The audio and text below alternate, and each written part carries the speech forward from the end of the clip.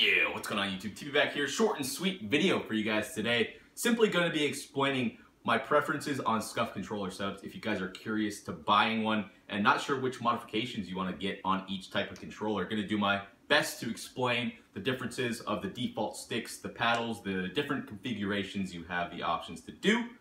And yeah, let's get right into it. So I'm to start with the PlayStation 4 controller since it's the one we are going to be mainly using for competitive Call of Duty now. But I have a preference to the SCUF sticks. They just feel a little bit wider on the thumbs and the default PlayStation 4 sticks are, uh, they aren't concave, which that's why I like SCUF sticks more, but you can get convex ones as well. I just don't really like the feel of the stick kind of fighting back with your thumb in a sense. It sounds weird, but after playing with the concave sticks for so long, it's just sort of a preference of mine. So I highly recommend the SCUF sticks due to the wider range of the stick itself and it, it's super grippy. So if you if you get sweaty hands, if you get if you get impaired in that sort of way, the SCUF sticks can definitely help with that.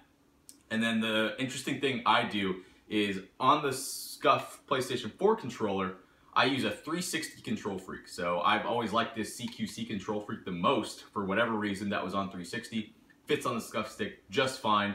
So this is the new controller I just got. The the Bumblebee or the Hornet, I forget what it's called exactly. And then we got the paddles on the back. I recommend just getting A and B. Some people don't like how the paddles hang down on the PlayStation 4 controller, and then also you can get fangs that extend out over here. I don't like those at all, but it's all really personal preference, but SCUF sticks are the way to go in my opinion, and this is sort of my go-to setup for PlayStation 4 SCUF controllers. KontrolFreek or a longer right stick you can get a longer right stick with the SCUFs, which is really cool about the sticks themselves. And then Xbox One will switch over here. The new Infinity controllers, you can actually pop the sticks out and pop them back in. So if you have a long stick, you're not feeling it, you're not, you don't think it's helping you out at all, you can pop that stick out, pop a regular one back in. So that's the customization of SCUF controller themselves are just absolutely amazing.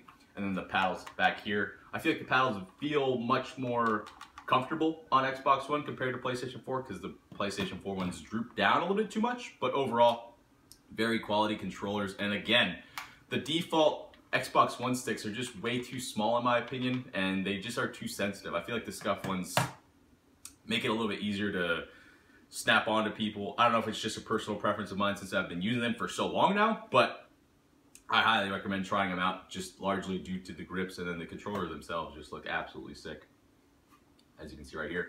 And then highly recommend getting the SCUF Pro Grip on the black back of the controllers. You can see it on the PlayStation right here, this grip right here. Definitely is comfortable playing for a lot of time and gives you that extra grip and grip on a controller. It, it seems underrated, but it helps out a lot. So straightforward, easy peasy. Those are my explanations of how this the controllers uh, differ from default to SCUF. And if you guys are curious, hopefully I help you out a little bit. Those are my go-to SCUF setup for both my controllers on PS4 and Xbox One. Hopefully this guys help this video help you guys out, and I'll catch you guys next time. Later.